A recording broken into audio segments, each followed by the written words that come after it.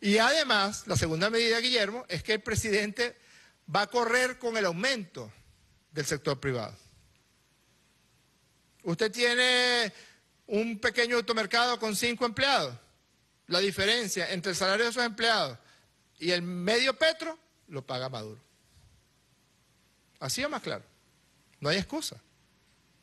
No hay excusa.